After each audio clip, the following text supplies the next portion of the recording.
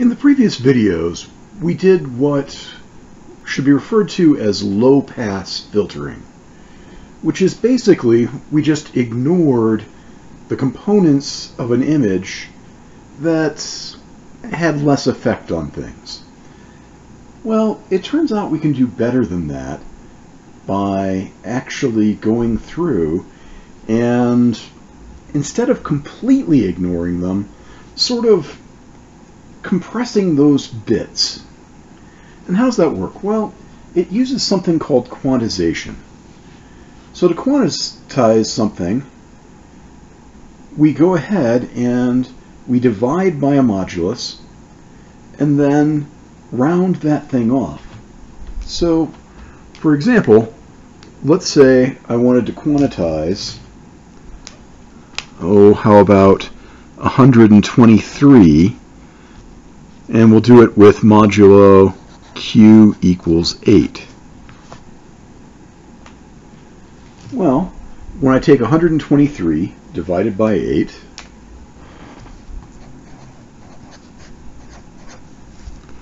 that gives me 15.375, which then rounds off to 15. And so, rather than storing 123, we're storing 15. What effectively we've done is we've taken a number that would require 7 bits to store and gotten it down to a number that would take 4 bits to store. Now it's going to turn out we can do even better than that, but just right now you can see that. And so we store the 15, and then we want to come back when we want to go ahead and reconstruct the image, we take it back a little bit. Now, we can't get the full thing off. This is, again, a lossy kind of compression. But to dequantize my unquantized, I'm just going to take the 15 times the 8 and get 120. You can see it's not exactly what that thing is, but it's a whole lot better than saying, well, we're just going to completely ignore it and call it zero. You end up getting very little round off here, depending on what your Q is.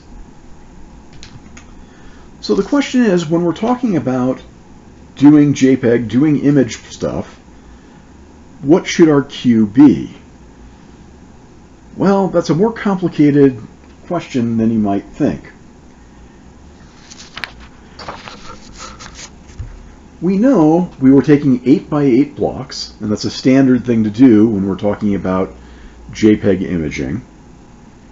And we know that the things that are furthest up to the upper left are the most important. Things down toward the lower right are the least important in terms of visual acuity. So they've done experiments using actual human eyes and how people see things, and they suggest this matrix here. We have different levels of quantization depending on what how important they are. As you can generally see, for the most part, and there are some exceptions, but the closer to the upper left this thing is, the lower the number is, and it gets bigger and bigger as we go down towards the lower right. In general, there will be less round-off error up here and more round-off error down here. In fact, some of these numbers down here are so big you're going to end up with a lot of zeros, which do make it closer to that low-pass filtering. But one thing to notice is that there is this P here on the outside. This is called the loss parameter.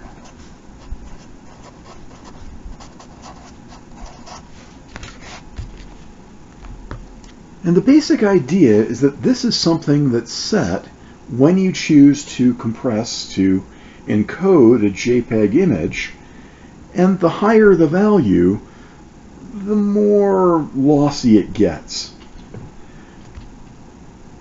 From experiments, they found that if you set p equals 1, there's certainly still some compression going on. There's certainly still quantization happening. These are still fairly big numbers we've got here.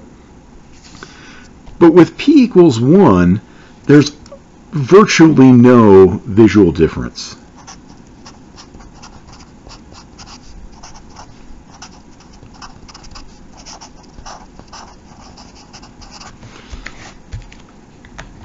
Little bits of round off that happen just don't really affect the image very much.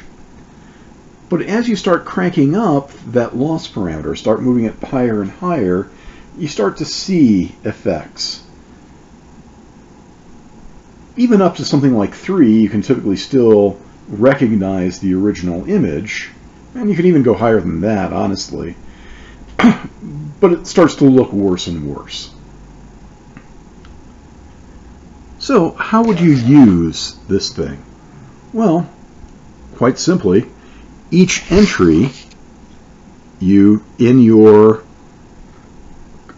DCT'd matrix, you're going to go ahead and quantize with the appropriate value. So you're not, again, you're not doing a full matrix multiplication, you're going entry by entry, dividing them and rounding them off.